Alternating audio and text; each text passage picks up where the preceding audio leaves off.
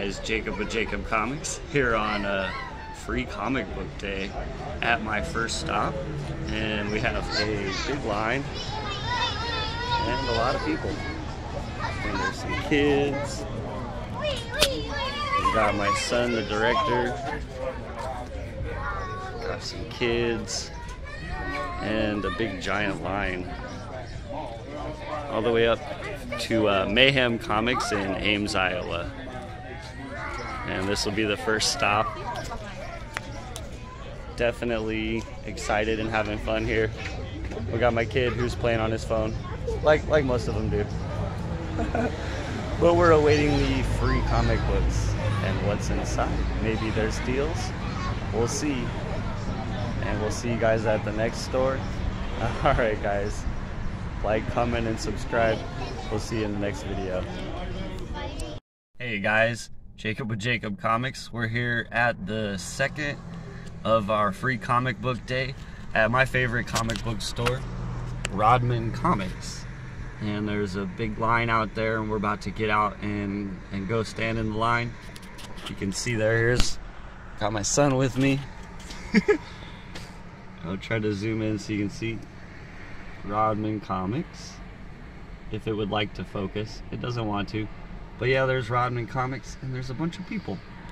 All right. I hope you guys are having as much fun as we are, and we'll see you guys in the next video at our third stop. Hey guys, I'm back. Stop number three. It's the second Mayhem comic shop, and it's the one that's in Clive, Iowa. And it's a really big one. Check it out. It's giant shop. And we're a little late, probably a line here earlier. But we're gonna go inside and see what kind of back issues they have. And um, we'll catch you in the next segment where I should be showing you guys what all I picked up today. All right, we'll see you guys there. Hey guys, all right, we're back at the at the studio, the set filming, and we had a really big uh, first Saturday in May free comic book day. Uh, we got these really cool bags too that they came in.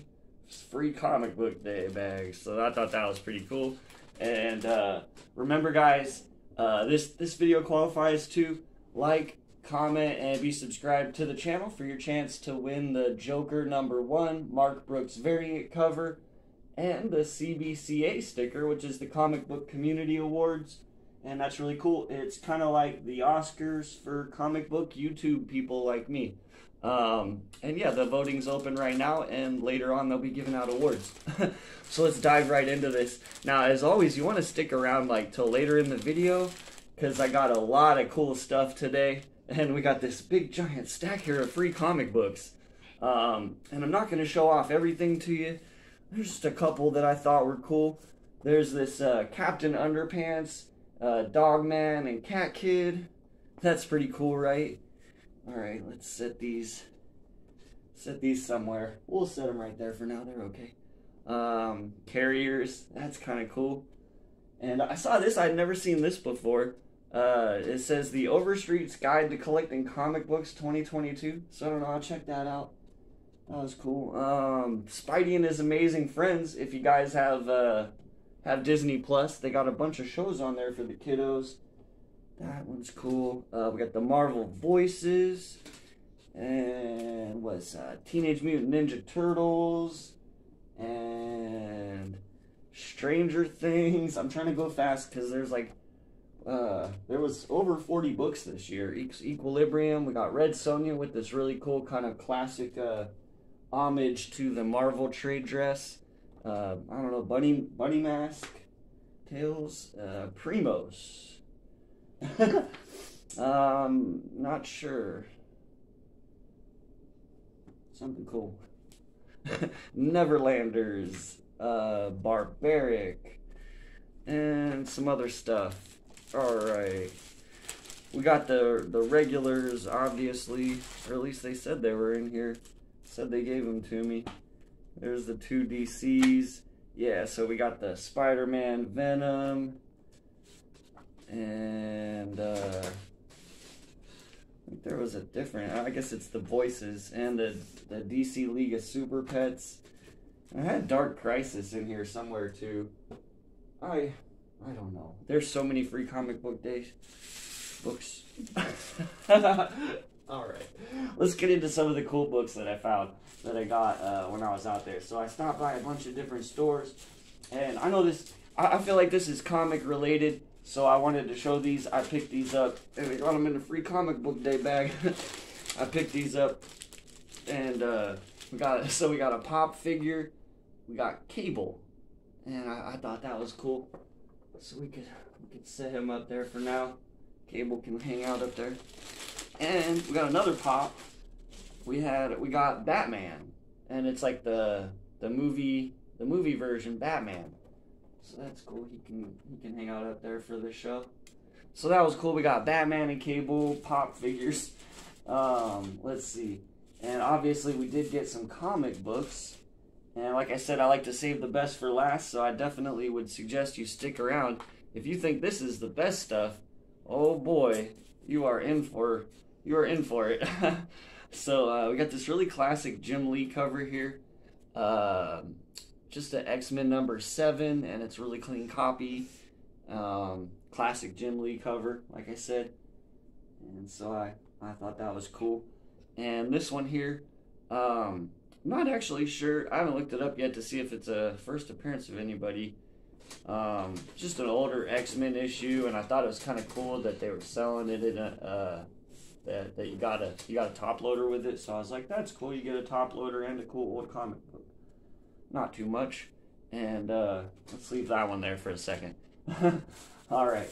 Um, so let's see what else do we have here. Um, I got a X Factor number twenty five and this would be the issue after 24, which is the first appearance of Archangel. And so that's 24, and this is 25. So you can see Apocalypse there on the cover, Archangel, and it's part of the Fall of the Mutant storyline, which is uh, one of the things that, yeah, just I like that Fall of the Mutants thing. It takes me back to some comic books of my youth and I found this one number 26 in what I want to call like a super classic cover with Beast, Cyclops, Jean Grey, and Iceman there on the cover, the classic X Factor team that, that we all know and love. And that's that's cool. None of those aren't really keys. They're just they're just older and in really good condition books. Uh, same thing with this one and classic covers. Like uh, so, there's like classic covers basically. Uh, I picked out this one too super classic cover says, "Come on, mess with us, make our day." And you got you know Colossus and Wolverine and Nightcrawler, and and Storm there with her mohawk looking cool. So I thought that one was cool. And oh yeah, this is a super classic cover. It's a Uncanny X Men 207. Uh, just just another classic cover. Wolverine's um, kind of chopping the the thing there. I think this one's next. Yeah. I was really stoked to find this one. Oh man, you do not see this one at that often. It's a Uncanny X Men 205 with that super classic uh, Weapon X cover. Oh man, guys, that is awesome. If that one's that copy. I think that's a little faded. I, I, believe it could pop a little more than that, but I was just happy to find to find that issue. I, I never owned it. Um, and then if you saw the other day, I got X Factor 2, so I'm kind of kind of collecting like a like a low run of X Factor if I can find them in, in good condition. And so I found this one. It's it's uh, X Factor number four. Again, not a key, just a just a really nice conditioned old comic book that that made makes me smile. um, and then so we're gonna start into the keys here. So that I found found a bunch of cool keys, and um, before we get to these keys, these are all Bronze Age keys, and I plan to send them off in my Bronze Age submission with the Wolverine books and the Moon Knight you saw. Um, but then, but first, I wanted to show this uh, Bronze Age slab that I picked up today, which is uh, New Mutants number nine in a 9.6, and it's the first appearance of Selene and she is the Black Queen. If you guys didn't know who that was, so she's a bad guy. So it's not like you know giant spec potential, but I, got a really reasonable price on it, and it's not you know, it's not too often you find a a, a comic book from 1983 in that in that good a condition. I just really like the cover. You got Cannonball and Sunspot, and it's just a classic New Mutants team. Um, so I, I had I had to get that one. okay, all right. So let's get into these here. So these are super cool, and um, just yeah, man, I'm I'm super stoked about them. So this one here is from 1973, and um, I'm gonna I'm gonna kind of like little. You guys know me. I will give some spec advice, but I do want to let you know that this is like do your own research and don't always believe everything you hear me say or other YouTubers or anything like that. Um, it's just my personal opinion. I think this is a good key to spec on for the price that I got it at. And just a really old, clean copy of, of a 1978 comic book. And so we have the Micronauts number one. And that is the first appearance of a bunch of characters. All these people you see on the front cover. And um, yeah, 1978 comic book. And that's just, that was too cool to pass it up. I definitely want to get that in a slab just for myself too, because I think it's cool. And Micronauts was a, really old classic run that uh, I don't think gets its its due dessert. And and you never know like what you never know what Marvel's gonna do. So hey, for the low buy-in price that I got it at, I I'm happy to keep it in the collection. If it never does anything, that's fine. But maybe it'll be something that'll help my kids live better lives when I'm off this earth, right? um, so then we had this other key that I found, and this is the first appearance of Magik. And all all three of these last ones here that that I got today, I believe they're underrated keys, and that's why I got them. So I mean, like I said, you know, don't you know do your own research but uh, I definitely think that that both the Micronauts number one and this first appearance of Magik are are harshly underpriced in the market right now. Um, Magik is a really cool X Men character that's been showing up a lot in the current runs, and she's a character that I could definitely see being used or possibly um, being introduced in the Doctor Strange universe. You you, you don't know. Magik's Magik's a pretty cool character. Um, and then there's this this last one here, and it's another one that I just I don't even understand why the price is what the price is on this book. Um, you would think it would be so much so much worth so much more in, in my humble opinion. And so I, I picked it up because I, I I just think I think people are off on this book and, and they don't see the true value in it. But we have, uh, and it's it's my obviously my my favorite gift from Free Comic Book Day.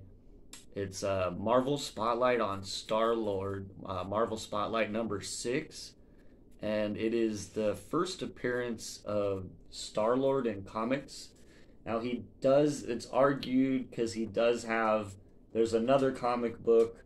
I can't remember the name of it off the top of my head. I'm sorry. There's another comic book, not comic book, there's a magazine that he premiered in first. And so it's a, a magazine sized comic. And so, yeah.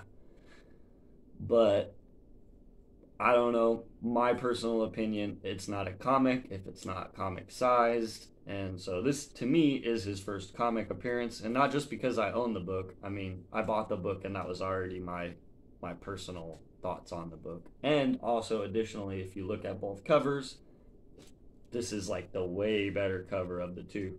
And I think it's in very good condition. First appearance of Star Lord, a character I will be very honest with. I did not know a whole lot about um, before the MCU, but um, I definitely am a fan now. And like, yeah, I would like to own the first appearance of Star Lord. I'm surprised more people don't, and it's not worth a little bit more. So those are three books I kind of think are, or maybe maybe uh, a little bit low on the spec radar. You got the first appearance of Star Lord, uh, Marvel Spotlight number six, uh, New Mutants number 14, the first appearance of Magik, and the Micronauts number one, the first appearance of all kinds of co- cool characters that that you never knew, but it you never know, but it, it is rife for movie adaptation. Is is uh, all I will say on that.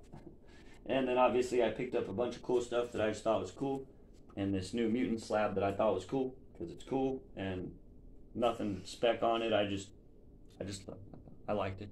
First appearance of some somebody bad guy. So if if you know your X Men lore too, like she plays her part in the in in the Hellfire Club, and and so she's she's kind of a main bad guy.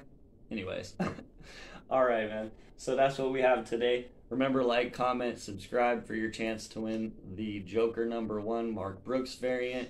And if you guys do like this kind of content, hey, click the link below and shop on my eBay store, and I'll send you some comic books.